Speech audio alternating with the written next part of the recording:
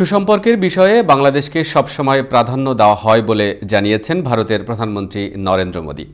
Corona মহামারীকালে বৃহস্পতিবার প্রধানমন্ত্রী শেখ হাসিনার সঙ্গে ঐতিহাসিক এক ভার্চুয়াল বৈঠকে একথা বলেন তিনি।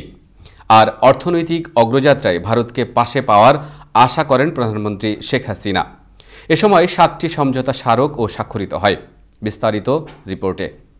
বিজয় দিবসের অনেক অনেক অভিনন্দন। আর গেল মার্চে ঢাকায় মুজিব বর্ষের অনুষ্ঠানে যোগ দেওয়ার কথা ছিল ভারতীয় প্রধানমন্ত্রী নরেন্দ্র মোদীর।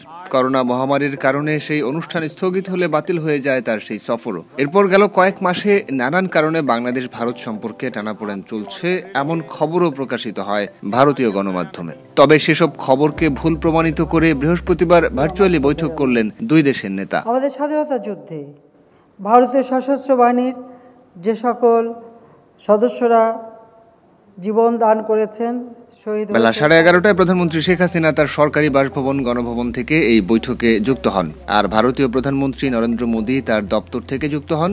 বৈঠকে বঙ্গবন্ধুর সম্মানে ভারতের ডাক বিভাগে স্ট্যাম্প উদ্বোধন করা হয়। এছাড়া দীর্ঘ পঞ্চান্ন বছর পর হলদিবাড়ি চিলাহাটি রেল চলাচলের উদ্বোধন করেন দুই দেশের প্রধানমন্ত্রী। উনিশশো পঁয়ষট্টি সালে ভারত পাকিস্তান যুদ্ধের সময় এটি বন্ধ করে দেওয়া হয়েছিল।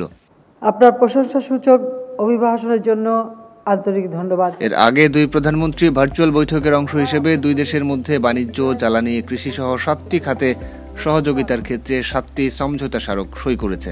ঢাকা রাষ্ট্রীয় অতিথি ভবন পদ্মায় এসব সমঝোতা স্মারক সই হয়। বাংলাদেশের পক্ষে সংশ্লিষ্ট সাত মন্ত্রণালয় ও প্রতিষ্ঠানের সচিব বা শীর্ষ কর্মকর্তা আর ভারতের পক্ষে ঢাকায় নিযুক্ত ভারতীয় হাইকমিশনার বিক্রম দোরাইস্বামী এসব স্মারকে সই করেন।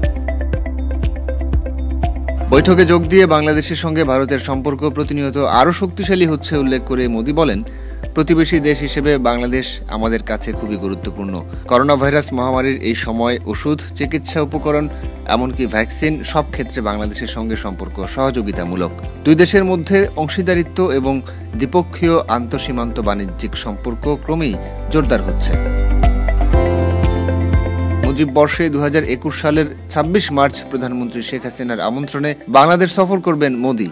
এ প্রসঙ্গে ভারতের প্রধানমন্ত্রী বলেন, বঙ্গবন্ধুর বাণী অবিনশ্বর। আগামী বছর বাংলাদেশ সফরে বঙ্গবন্ধু শেখ মুজিবুর রহমানের প্রতি শ্রদ্ধা জানানোর সুযোগ পাওয়া আমার জন্য সম্মানজনক। তিনি বলেন, বাংলাদেশের স্বাধীনতার সুবর্ণ জয়ন্তীতে সব ভারতীয় নাগরিকের পক্ষ থেকে আমি শুভকামনা জানাই।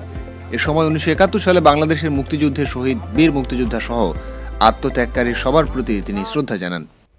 বঙ্গবন্ধু শ্রদ্ধাঞ্জলি অর্পিত করনা।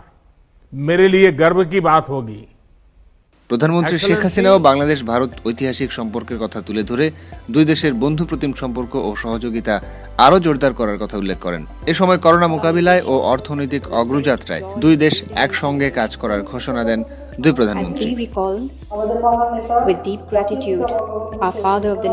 বৈঠক থেকে দুই দেশের মধ্যে সই হওয়া সমঝোতা স্মারকগুলো হলো নয়াদিল্লি জাদুঘরের সঙ্গে বঙ্গবন্ধু জাদুঘরের সহযোগিতা হাইড্রোকার্বনের সহযোগিতার বিষয়ে রূপরেখা কৃষি খাতে সহযোগিতা হাতির সুরক্ষায় অভয়ারণ্য নিশ্চিত করা হাই ইম্প্যাক্ট কমিউনিটি ডেভেলপমেন্ট প্রকল্প চালু বাংলাদেশ ভারত প্রধান নির্বাহী কর্মকর্তা ফোরামের ট্রাম্প অব রেফারেন্স এবং বরিশালে সুয়ারেজ প্রকল্পের বর্জ্য ব্যবস্থাপনার উন্নয়নে যন্ত্রপাতি কেনাকাটায় ত্রিপক্ষীয় সমঝোতা।